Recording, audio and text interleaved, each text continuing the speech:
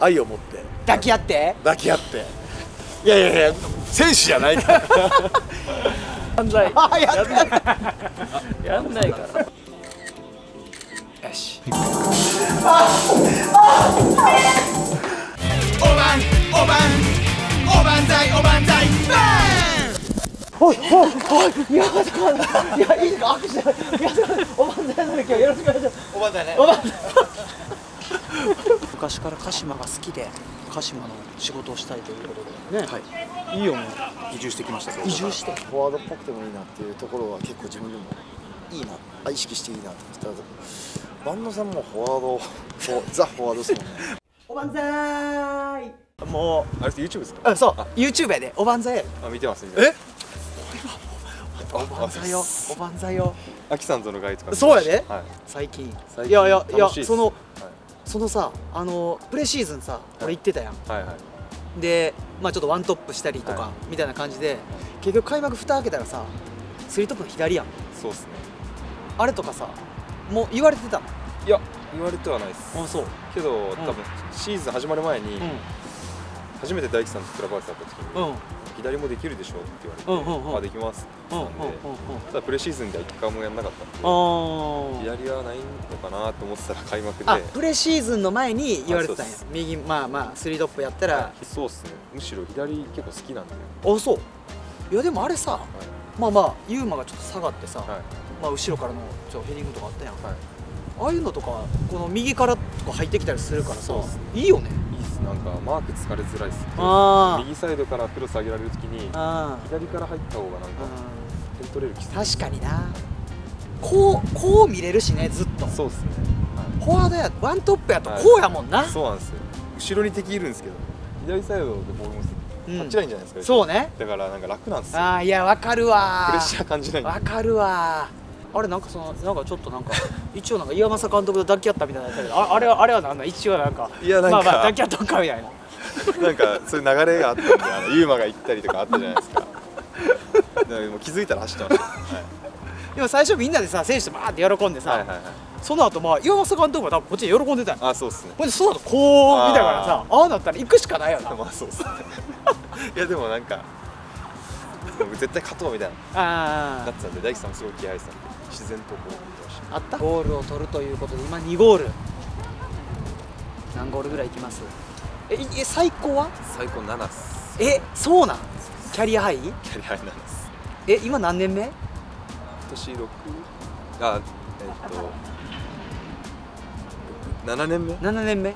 年目っす、うん。はい。今 J1 で何点？30点取ってないのあそうなんだ20そ10点いきたいな。そうっすとりあえずやっぱちょっ10点とねなんか10点取ったらなんかちょっと変わってくるよね。はい。ずっと目標にしてはいたんですけどうん全然いけなかった。うんまあ、川崎であのな交代とか、まあ、小林浮いてレアンドロナミアでなかなかな。バンさんあれじゃないですか。途中出場でそうやで、一番点取っていやそうなんだ。よじゃないですか。もう小林優が迫ってきてるからな。そうなんですか。ちょっとそれド途キドキする。中出場って川崎の時途中多かったんでうん。難しくて難しいな。あの守備めっちゃ求められるんですよ。そうね。いや途中で全然点取れなくて途中が多かったってのもあってそういう時めっちゃ悩んでたんですけどバンうんさんがめっちゃ途中で点取ってるっていうのを知って。そんなの？途中交代して守備求められてもせんかってええんや。あもうええんやってそんな関係ない。点取ること点取ればいいに意識したらええんやほんまに。あ確かにで今も、はい。まあなんかうまいうまい感じでうまい感じで守備しながら、最後やっぱさゴール前入っていかなあかんやん。そうっす。ねそこにパワー残して。絶対そっちの方が絶対そっちの方がいい、うん。でうまくサボってたんですでそうそうもうあの必死にあの 90分のまあ90分も出へんかったからあの何回かに1回ぐらい頑張ってスライディングとかしてたら おあいつ守備やってんなみたいになってるから。見せ方がうまかった。そうやねそうやね見せ方大事やか勉強になりますらうん。ちょやります。よはい沖縄の人は恥ずかしがり屋やから。あそうなんですよ。なあ、はい。おばんざいって言ってみ？おばんざいって。いや恥ずかしい。おばんざいって言ってみ？一回言ったら。いいですか？おばんざい。おいおばんざいどうしたんですかおばんざいや。今日おまずそっちか。押してましたから。開幕前これも岩政監督と全員で戦うべしという話をしてましたからね。不安もどうなんかなみたいなんとか。うん。まあ半々ですけど、うん。みんなそうじゃないですかね。まあそらおそらくそうやな開幕って。開幕だって自分でやったの初めてやもんねもうまあプレシーズンから見て。まあまあまあ。まあでも去年も一応代行でやってはいたんですけど。あまあでも完全に自分のチームってわけじゃなかっーうん。た初めてですからね。でその後もちょっとあんまり勝てへんか雰囲気が続いて、ちょっと大丈夫なんかなみたいな。こうそのサッカー界的にはちょっとざわついてたけど、もう全然問題なくゆっくり寝れてた。あーまあ半々です。でも、そのプレシーズンで勝つためにチーム作ってないので、確かに、まあ、その中で、まあ、勝たなきゃいけないけどうん、その試合のための準備は一切してないからねっていうのはあるから、まあそうね。それを冷静に考えればまあそんなもんっちゃそんなもんだしまあ,、うんとまあ、かこのチームの監督を引き受けた時点で、うん。このクラブが今どういう段階かっていうのは、うん。あのよく知ってましたし、うん。そのいろんな失敗というか負けとか、うん。あの苦しい時期を乗り越えないと、うん。勝ちきれるところまではいかないっていうのは分かって受けたので、それはもう腹くくってやってるっていうのがあるのであんまり気にしてないです。へえですね。普通の職業ではないというか一般的にすごいこう分かり人いいろんな人から分かってもらえない職業だと思うんですけど孤独とかってやっぱ感じるんですか？まあまあだからささっき言ったような結果が出ない時期とかうん。あのえっとは感じるところは当然自分が全て責任を取らなきゃいけないんで、えっと、いろんな人がサポートはしてくれますけど最終的には自分が全て決断をしなきゃいけない仕事ですからその時には当然孤独といえば孤独ですかね。連絡してよ。い。や結局結局それでじゃあ相談したところでじゃあでどうするんですか？僕が決めるわけじゃない。まあそりゃそうやだから結局それが孤独になる。そりゃそりゃそうやな。でもまあどうすかね。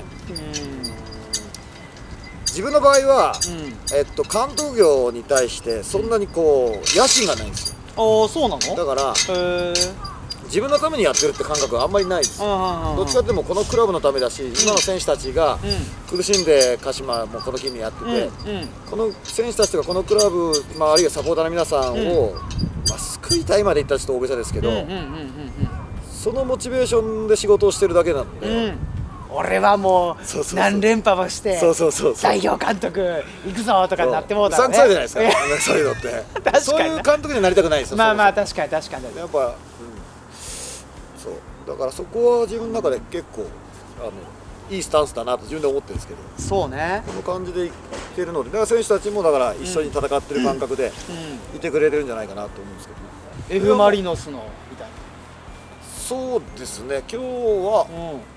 どうかな、まあ、マイナスもほとんど見切ってるので、うん。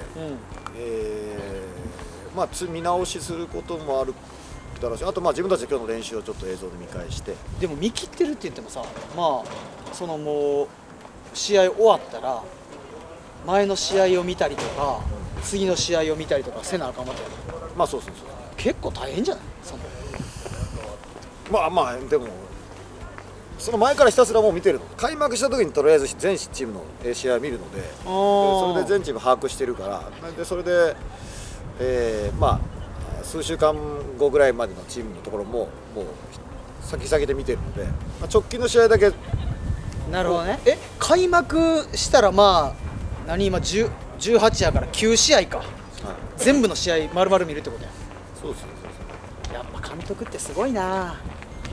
まあでもまあまあそうですね仕事ですからね。まあ最後に今季の野望とかこうどういうサッカーを具体的にしたいとかっていうのを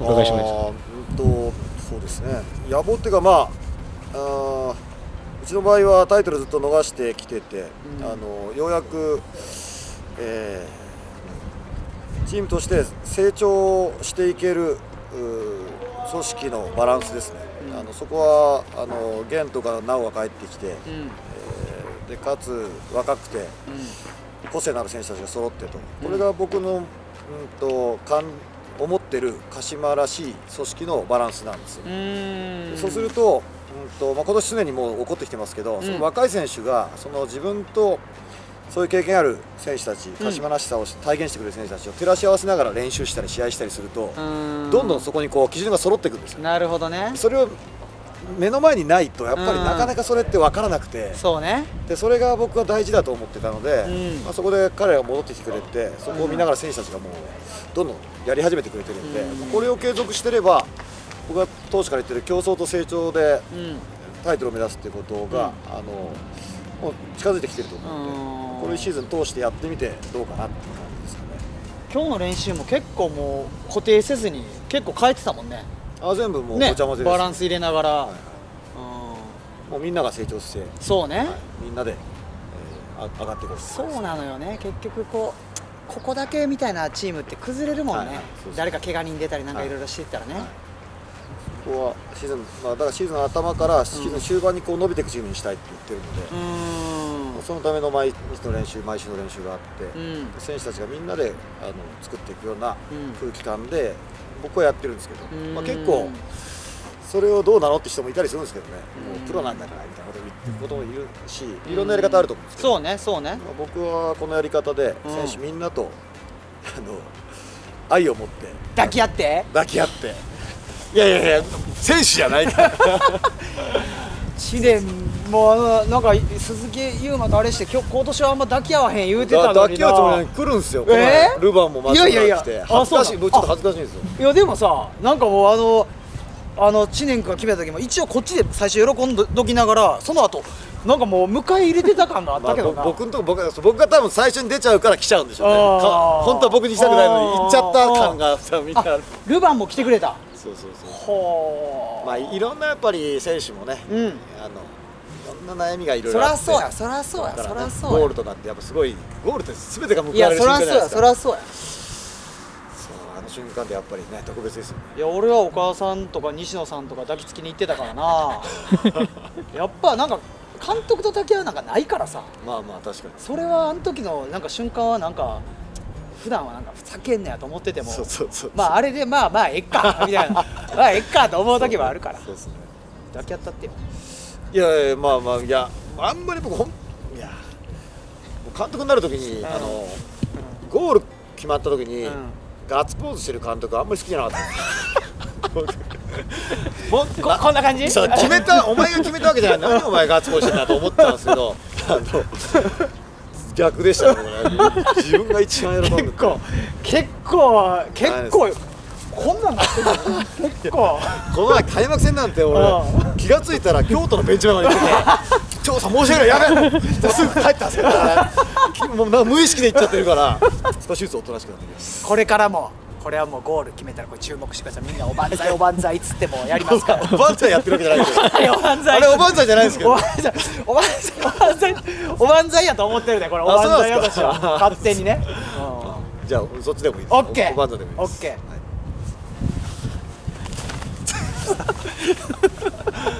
ありがとう。ありがとうございます。長い時間ありがとう。ありがとうございます。おばんざいおばんざい。おばんざいおばんざいおばんざい。バーン。ということでクラブハウス鹿島のクラブハウスにこれちょっと潜入したいんですが潜入するためにはこれ一人ではちょっといけないので今日は特別ゲスト来ていただきました。どうぞ。よろしくお願いします。CRO 中田浩二です。CRO いや本当ね、うん。出たくなかった。いやいや一回ゲストとして、はい。い、やじゃあ座りで結構ねいろんな話はしたんですけど、今日は、クラブハウスねここ。はい。はい。おばんざい世代のね左サイドバッごめんだからいつからおばんざい世代 おばんざい世代。おばんざい世代ですからもうあの79あの年黄金世代じゃないの？黄金世代じゃない。おばんざい世代。うん。おばんざい世代。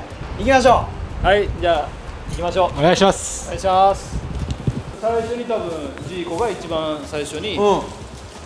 クラブハウスっていうのをね立派な大事やと。そう。おこれは。でこれはだから今年のユニフォーム。はああオフィシャルショップも。はい。でここがオフィシャルショップ。よしシャルショックですよこれは。だとタオルマフラー。タオルマフラーまあもう選手のやつあるから、うん。まあ今ねうちとしても試合のほら、前とかねタオルマフラー回してとかっていうのがあるから、なるほどね。まあ、買ってほしいっていうのがあるからまあ目立つところに置いてるよね。あれ？背番号6番中田。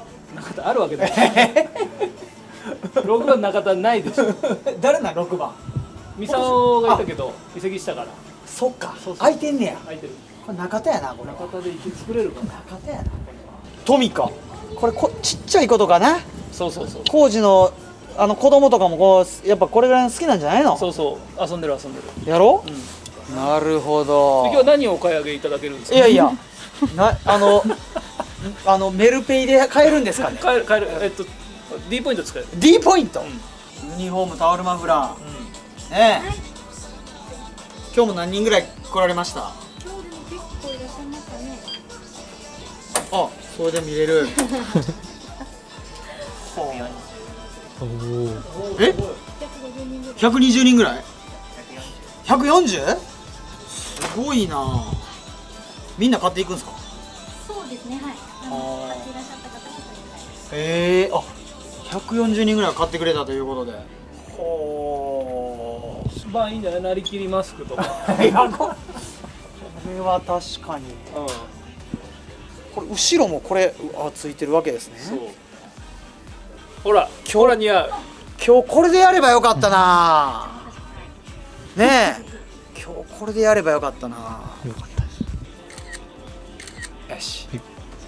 ねえそのクラブハウスにこの併設してるっていうのがまたいいよね。ごめん何クラブ回ってる？これ何クラブ目？い1クラブ目や。そらそうや。まずは鹿島から始めなあかんやっぱ。そういうことね。うんおばんざーい。カフェ入ってみるとうん。昔のねほー。ほー。これはここ選手のサインがあったり確かに。食べてます。食べてます。食べてます。あれ元選手だからねサンマや。そう。そうです。ねえ。はい。食べてるなあ。結構食べてるなあ。唐揚げいただきます。唐揚げ。昼から火が強いなあ。今何してるんですか？僕ジュニアエースでゴールキーパーをしてます。歴史ありますね。ほらもうレオナルドいるもん。ビスマルクジーコアルシンド中田浩二いんのか？どっかにはいるおいどおこれいるんちゃうか？あおらへんか？いるんじゃないですかおいたいたいたいたいたいた。あとこれは岩政監督と横にな並んでますよこれは。おばんざーい。ここもう客席にもなってるからここでサポーターの方は練習を見る。そうだから今グラウンドが2面。あ天然芝が2面あって向こう側でユースの練習。あ向こう？向こう。あ今ユースがやってて、であっちに人工芝のグラウンドがフットサルコートで3面。あそこ今サッカーやってるところ。三つ男がやってるとこ今あやねそこに三つとかはいる。おばんざーいでこの上が一応オフィス。うん。オフィス。になってます、だから関係者以外立ち入り禁止なのでごめんなさい。え？関係者や。んおばんざい本当？うんちょっと行こうよ。ということでね。ちょっと行こうよ。怒られたらさもうそんなん工事が怒られたらええんや。ダメですよ そりゃそうやそんなの。鹿島アントラーズ FC ですよこれは花尾さんもメルカリからね来られてますからね。そうですね。鹿島のもうイニエスタと言われてもう長いですよね。そうですね。まあ 取締役。鹿島の取締役ですよ、チェアマンでしょチェアマンね。チェアマンなるためにはやっぱ我々ねチェアマンなるためにはいろいろ勉強しないとダメですから、そうだね。なれるかなれないか分かんないですけどそれはもうね工事がチェアマンになったら俺がまあその下で働く。俺がなったら工事が働く。ね一緒にね。いやいや俺選ぶ権利。な い選んでくれたらええやないあそう。か一緒に。あそうね。すごい綺麗。ですこあここで？これでもすごいでこれ。これなかなかないでこんなの。だって昔のポスターってことやろ？昔のポスター。昔のポスター？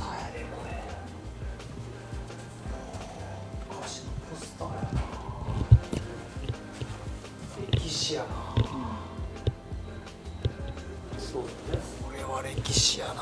今空いてるからここがだから。おお一応ボードルームっていうんだけど。うわすごい。うわすごいすごいすごい。ね。タイトル取った時の写真とかこうおお飾ってあったりとか。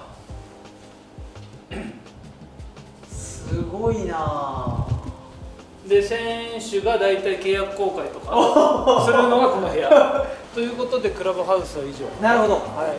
これは嬉しいですね。CRO にこう招待していただいて、ね、本当よ。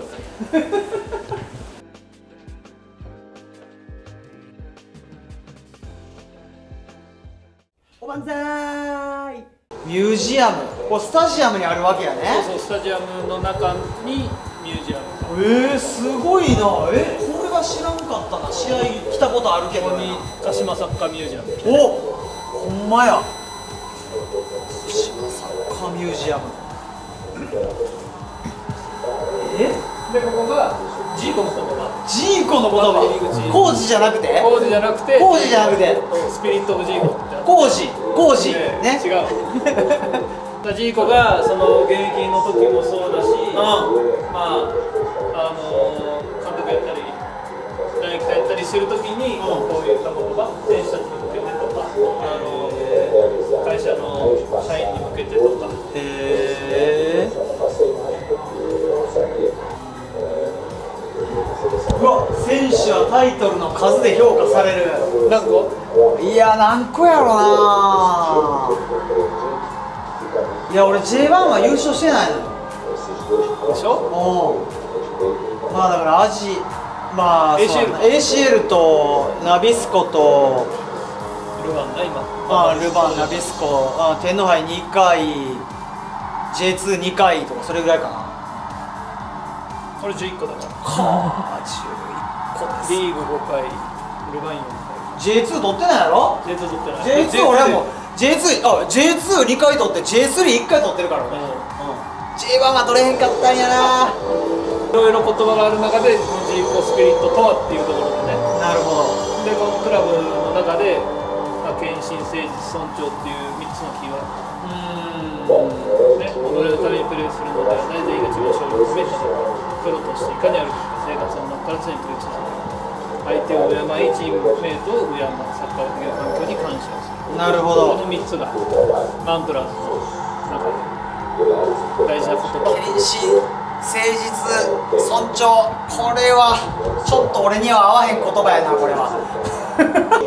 でこれが一応、まあ、レジェンズのもので見てこれ。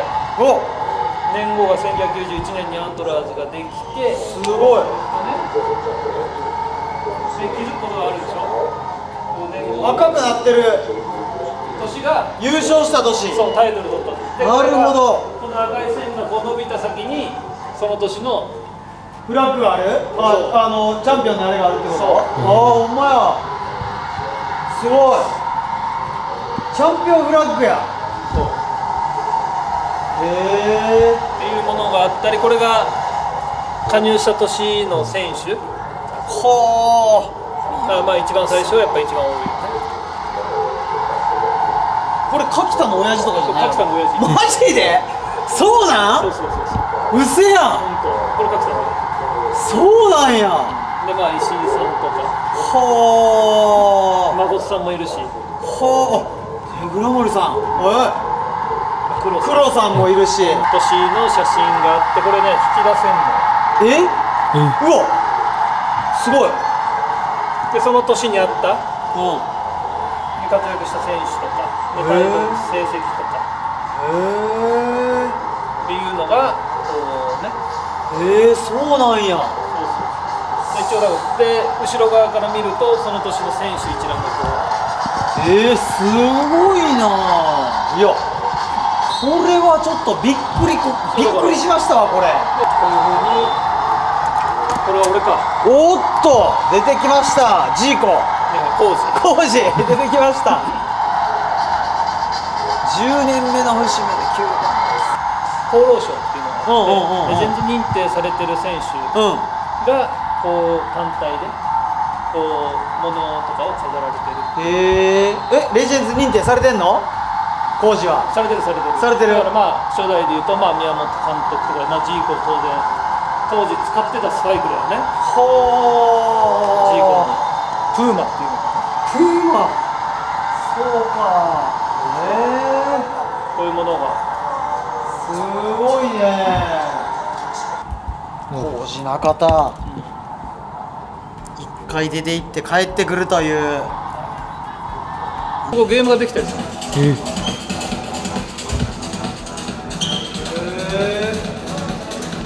こんなんもあんねや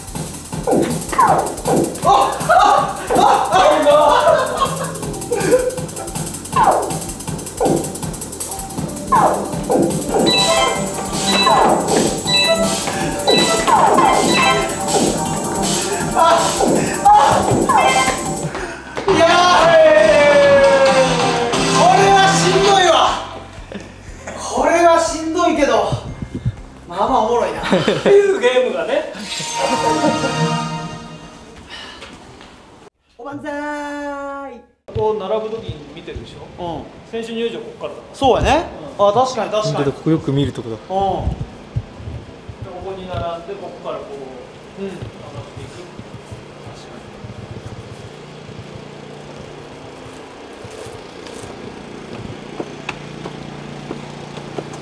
一応こんな感じで。スターターのとこまで鹿島スタジアムですよ。鹿島スタジアムですね。ここで勝った思い出あんまないですね。確かに点決めた思い出もあんまないのよね。俺最初な試合98年2試合出た時にアウェーの鹿島来れると思ったらメンバー外れてんな。だから来たかったんやな。そこからもう縁がなかったんだよ。いやほんまやな。鹿島縁がなかったんやな、うん。ってことかな。いやーでもこれは CRO はい。いろいろちょっとクラブハウスも含めて紹介していただきましたけど、はい。どうでした？いや鹿島のね歴史を感じたね。でしょ？うん。うん。この本当にクラブハウスとスタジアム。まあミュージアムもそうやけどこの30年。ね。前であのクラブハウスができてるっていうのはこれまたびっくりやし。それをやっぱりこの引退して引退した選手がそこの中に入ってこうやっていろいろ案内してくれるっていうのがまたこれはもう歴史を感じましたねなかなかちゃんと説明できる人いないから。いや確かに確かに。こんだけ完璧に。もうでも今日の説明はもうほんまにもうもう101回目ぐらいやでみたいなぐらいのちょっとなんか慣れ感があったな。そう？あ最後特別よだってここあまでこれはいいやいや確かに確かに。ありがとう本来であればミュージアムで終わりだったんだかありがらとうございます。それで最後ピッチでね終われるっていいでしょ？いいですね。やっぱこの緑の感じで万歳と。はい。ね